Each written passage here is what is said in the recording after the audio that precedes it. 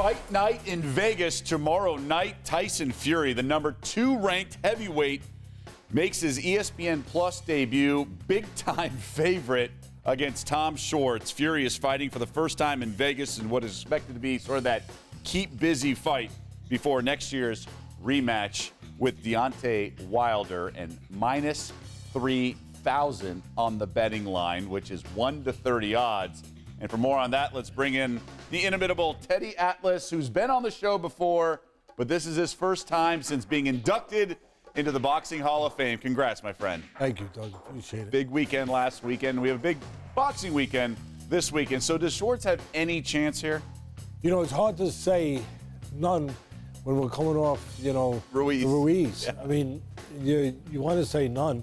I'm going to say none Okay. because for me, he's empty in areas you can't be empty.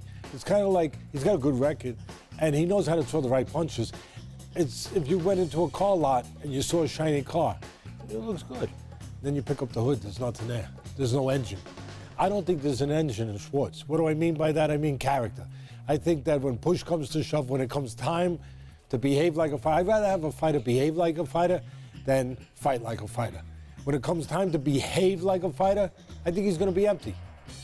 And I think going to, it's going to show. The problem here, and you care just about the betting and how long does it go, who wins. Well, the problem here is that, you know, Mr. Fury is kind of like my grandchild. You know, my grandson. You know how? How? in the way that he plays with his food before he eats it.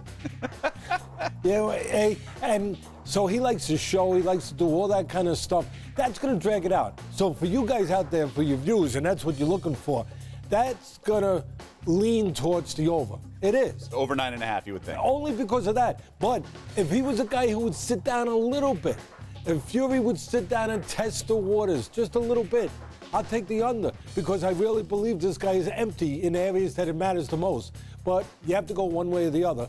I'm going to go with he likes to play with his food before he eats it. You know, kind of like the helicopter.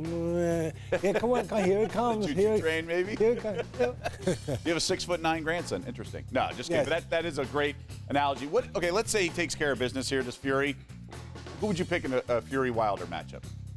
I would have to go. I think Fury fought as well as he could fight, except those two mistakes. Mm-hmm. I don't know that he could fight any better. First match. In the First first, match, yeah. No, we're talking about the rematch. So the first time, he fought as good as he could fight, and it took almost all night long for Wilder to finally figure out if maybe I throw the right hand straight instead of round, maybe it'll land. I think he's got it figured out. It's not that hard. We take Wilder in a rematch. So I'm going to go with Wilder in the rematch. It was a draw the first time. All right, Teddy. Always uh, appreciate having you here in studio. And again, congratulations, man. Long overdue. Thank you.